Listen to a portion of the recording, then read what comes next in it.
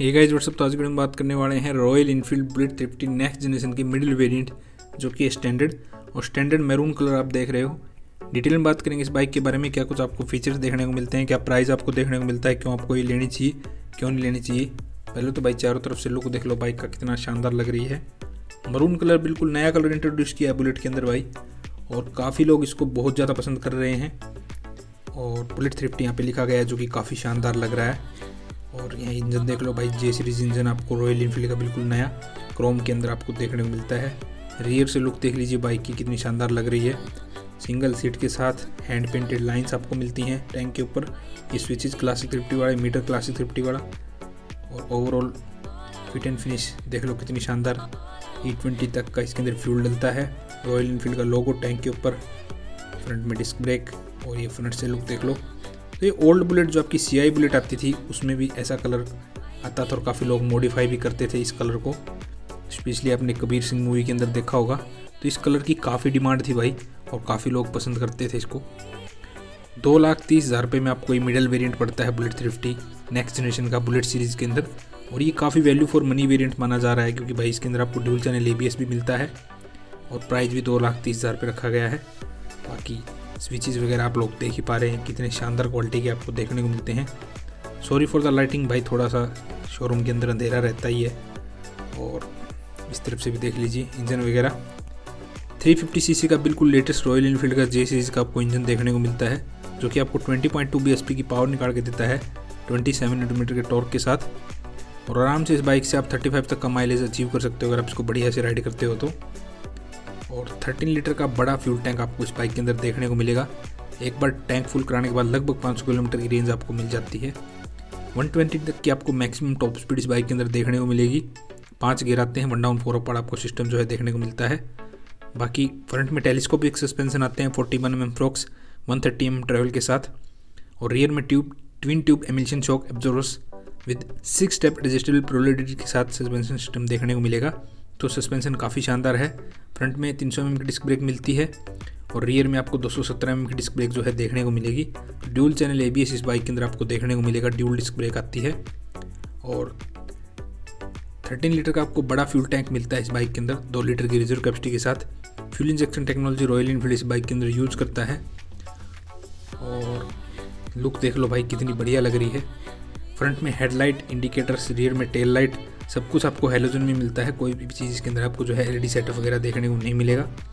और ये handle bar देख लो भाई, काफ़ी वाइड आपको हैंडल इस बाइक के अंदर जो है देखने को मिलता है। तो काफ़ी कंफर्टेबल हो गया आप बैठने वाले हो, क्योंकि सीट भी काफ़ी कंफर्टेबल इस बाइक की है। पहली वाली प्रीवियस जनरेशन थी उसके मुकाबले सीट काफ़ी कंफर्टेबल कर दी गई है फ़िलहाल। ठीक है? और ये लोगो देखो भाई, कितना शानदार लग रहा है, कितना प्रीमियम लग रहा है। पेंट जो भी काफ़ी बढ़िया जो है मुझे लगा इस बाइक के अंदर। बाकी अगर हम बात करें तो स्पोक व्हील्स आते हैं तो ट्यूब टाइप टायर इस बाइक के अंदर आएँगे। फ्रंट में उन्नीस इंच का व्हील आता है रियर में आपको एटीन इंच का व्हील मिलता है। फ्रंट में सौ नब्बे उन्नीस का आपको टायर मिलता है और रियर में आपको एक सौ बीस अस्सी अठारह का टायर देखने को मिलता है। और काफ़ी रेट्रो लुक जो है रखने की कोशिश की गई है कंपनी के द्वारा।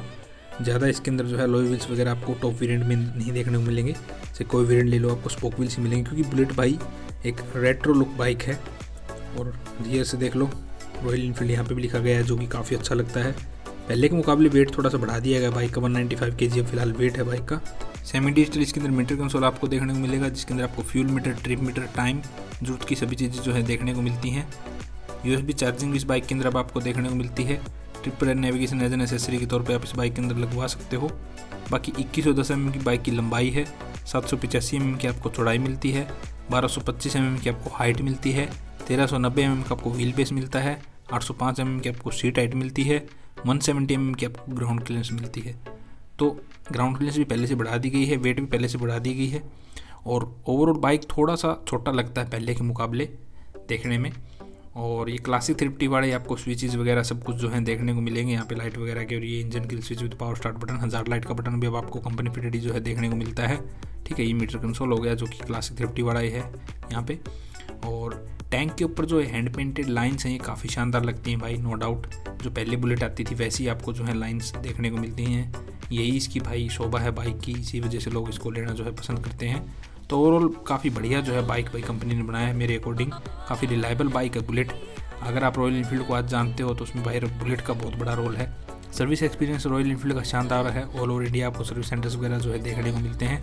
और एक वैल्यू फॉर मनी ये मिडिल वेरिएंट है क्योंकि इसके अंदर आपको ड्यूल चैनल एवीएस जो है देखने को मिलता है और लोगोज वगैरह जो रियल बुलेट वाले हैं, वो इसी वेरियंट के अंदर आपको देखने को मिलेंगे। और कंफर्टेबल तो है ही भाई बाइक क्योंकि सीट काफ़ी कंफर्टेबल है। बाकी काफ़ी सॉलिड आपको बिल्ड क्वालिटी वाली बाइक जो है ऑफ़र करती है। और रीसेल वैल्यू भी काफ़ी शानदार आपको जो है देखने को मिलती है। किसी भी एज ग्रुप का पर्सन चलाए सभी के ऊपर बुलेट अच्छी लगती है हमेशा से ही। तो बाइक ओवरऑल एक बढ़िया पैकेज के रूप में आपको देखने को मिलती है। बाकी ड्रॉबैक वगैरह की बात करें तो इतने ज़्यादा ड्रॉबैक्स वगैरह रहे नहीं हैं। सिर्फ़ भाई यही है कि इसके अंदर स्पोक व्हील्स मिलते हैं और ट्यूबलेस टायर नहीं मिलते हैं। अदरवाइज़ कोई ज़्यादा बड़ा मेजर ड्रॉबैक है नहीं किक इस बाइक के अंदर आपको देखने को नहीं मिलती है। दो लाख तीस हज़ार रुपये के प्राइस में बिल्कुल बढ़िया बाइक है वर्थ बाइक है थ्री फिफ्टी सी का आपको इंजन मिलता है, जो कि माइलेज भी आपको शानदार जो है निकाल के देगा। बाकी ड्यूल रोड चेसिस अब आपको देखने को मिलती है इस बाइक के अंदर, जिसकी जैसे वाइब्रेशन वगैरह ना के बराबर हैं तो ओवरऑल एक बढ़िया पैकेज आपको बुलेट थ्रिफ्टी के रूप में देखने को मिलता है।